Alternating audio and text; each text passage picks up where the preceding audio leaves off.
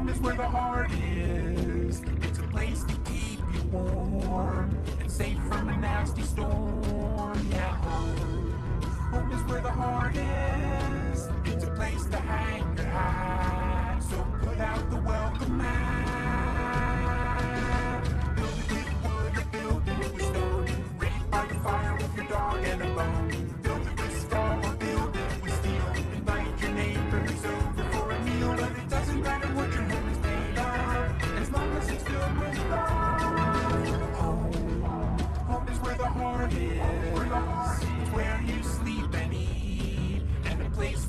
Friends to meet. Yeah, home, home is where the heart is. It's a place to dream and play, and when grandma comes, it's a place to stay.